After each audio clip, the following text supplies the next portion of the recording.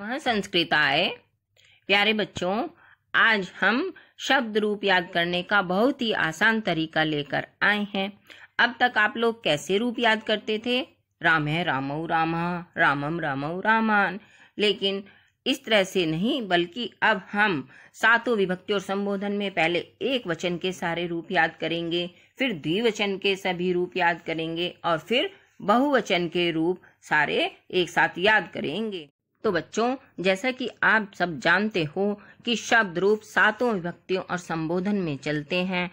विभक्तियाँ होती हैं प्रथमा द्वितीय तृतीया, चतुर्थी, पंचमी, षष्ठी, सप्तमी और संबोधन। इन सब में रूप चलते हैं।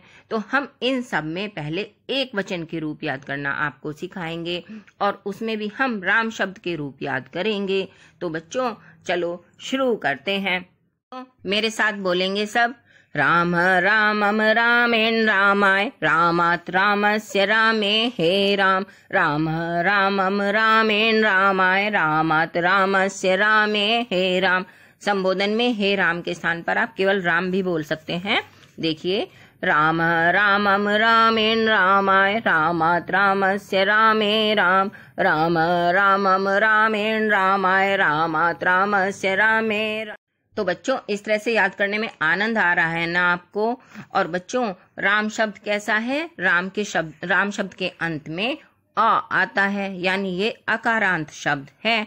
तो बच्चों, जितने भी अकारांत शब्द होंगे पुल्लिंग में, उन सब के रूप राम की तरह ही चलेंगे। जैसे, हम बालक के करें बालक है बालकम बालकेन बालकाय बालकात बालकस्य बालके बालक। इसी प्रकार हम कुछ और शब्द लेते हैं।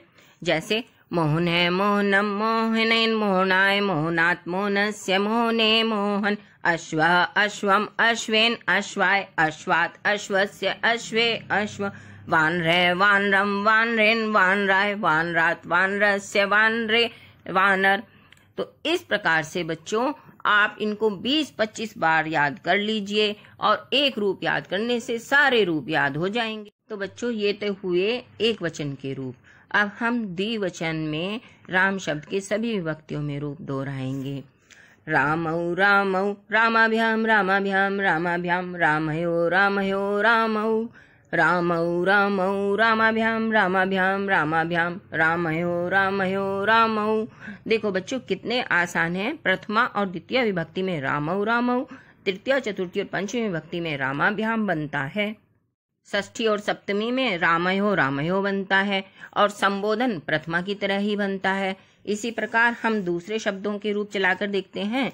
बालकौ बालकौ बालकाभ्याम बालकाभ्याम बालकाभ्याम बालकयो बालकयो बालकौ अश्वौ अश्वौ अश्वाभ्याम अश्वाभ्याम अश्वाभ्याम अश्वयो अश्वयो अश्वौ वानरौ वानरौ वानराभ्याम वानराभ्याम वानराभ्याम वानरयो वानरयो वानरौ बच्चों, आनंद आ रहा है ना इस तरह से आपको रूप याद करने में। अब हम बहुवचन के, राम शब्द के सभी व्यक्तियों में रूप याद करना बताते हैं आपको। राम, रामान राम ही रामेभ्य रामेभ्य, रामानाम रामेशु राम। राम, रामान राम ही रामेभ्य रामेभ्य, रामानाम रामेशु राम। तो बच्चों, देखो, इसमें भी चतुर्थी और पंचमी दोनों में एक जैसे रूप बनते हैं, रामेभ्य रामेभ्य। और संबोधन बिल्कुल प्रथमा की तरह होता है।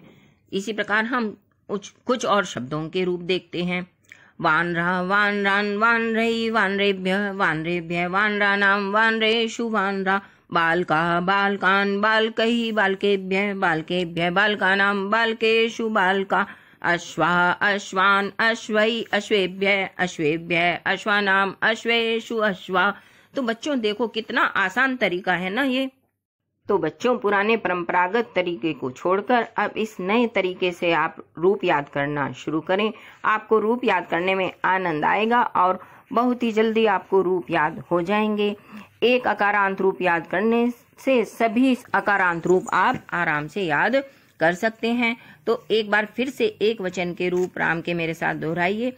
राम, रामम, रामेन, रामाय, रामात, रामस्य, रामे, राम। रामे रामम रामेण रामाय, रामात् रामस्य रामे राम। राम रामम रामेण रामाय, रामात् रामस्य रामे राम। राम रामम रामेण रामाय, रामात रामस्य रामे राम। तो बच्चों, इस प्रकार से उठते, बैठते, चलते, फिरते आप इनको याद करते रहिए और बहुत जल्दी आपको ये याद हो जाएँगे और उसी के आधार पर सारे अकारांत रूप आपको याद हो जाएँगे। धन्यवाद।